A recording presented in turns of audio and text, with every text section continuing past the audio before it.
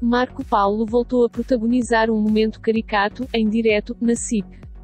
O cantor foi um dos convidados de Fátima Lopes, na estreia do programa Caixa Mágica, que substitui Alô Marco Paulo, nas tardes de sábado, e não escondeu o desagrado quando a apresentadora o interrompeu.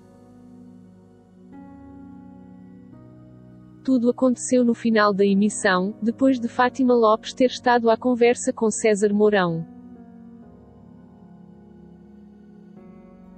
Marco Paulo entrou em estúdio com um ramo de flores na mão e dirigiu-se à nova anfitriã das tardes. Vim-te dar uma flor, vim-te fazer um bocadinho de companhia, começou por dizer.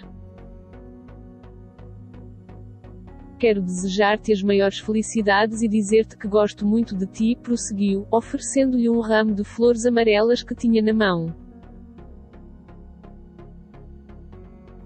Nesse instante, Marco Paulo começou a fazer algumas observações polêmicas. Ai, eu também precisava destas luzes lá em casa, referiu, comparando o cenário do seu programa ao de Fátima Lopes.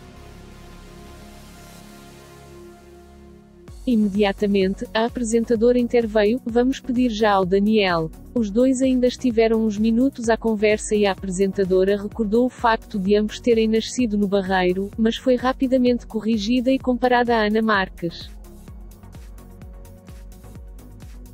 Eu não nasci no Barreiro, eu vivi muitos anos no Barreiro. Já te disse 20 vezes.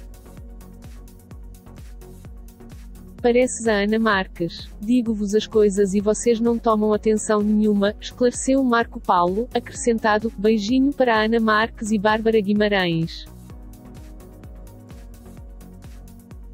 Já no final, Marco Paulo quis fazer uma surpresa a Fátima Lopes antes de fechar o formato com um dos seus temas de sucesso.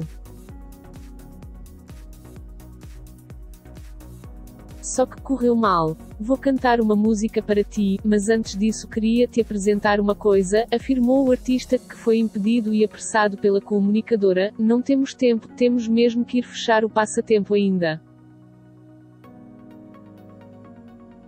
Então, mas convidaram-me para quê? Para não ter tempo, retorque o convidado, visivelmente incomodado.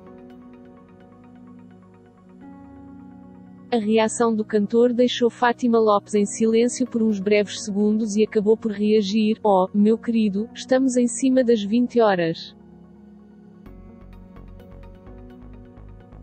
Vai cantar.